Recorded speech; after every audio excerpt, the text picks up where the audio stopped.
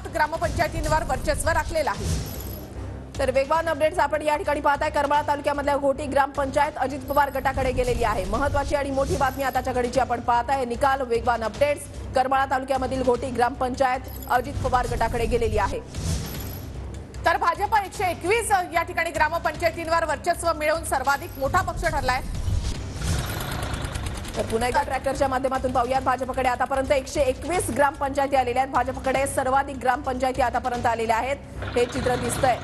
त्याच्यानंतर आहे ते म्हणजे शिंदे गट. शिंदे गटाकडे आतापर्यंत बहात्तर ग्रामपंचायती ज्या आहेत त्या आलेल्या आहेत. बहात्तर ग्रामपंचायतींवर वर्चस्व मिळवण्यात शिंदे गटाला यश मिळाल्याचं पाहायला तर अजित पवार गटाला ब्याण्णव ग्रामपंचायती या ठिकाणी मिळाल्या दुसऱ्या क्रमांकाचा पक्ष ठरलेला आहे अजित पवार गट.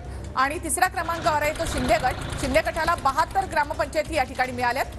तर ठाकरे गटाला चोवीस ग्रामपंचायती मिळालेल्या आहेत. यानंतर आहे पवार गट. पवार गटाला तेहतीस ग्रामपंचायती आतापर्यंत मिळालेल्या आहेत. पवार गटाला आतापर्यंत तेहतीस ग्रामपंचायतींवर विजय मिळवता आलेला आहे. तर काँग्रेसकडे बेचाळीस ग्रामपंचायती ज्या आहेत त्या आलेल्या आहेत. महाविकास आघाडीकडे जर आपण पाहिलं तर आतापर्यंत नव्याण्णव ग्रामपंचायती आलेल्या आहेत. ग्रामपंचायतीच्या सुरुवातीच्या निकालांमध्ये भाजप हा एक मोठा पक्ष म्हणून आता पुन्हा एकदा पुढे आलाय. भाजपला एकशे एकवीस ग्रामपंचायतींवर वर्चस्व राखता आलंय. ग्रामपंचायतीत नंबर एक साठी भाजप आणि अजित पवार गटामध्ये तशी रस्सीखेच आहे. आता भाजप सध्या तरी नंबर एकचा पक्ष यामध्ये दिसतोय. निकालांमध्ये शरद पवार गट सर्वात शेवटच्या क्रमांकावर आहे.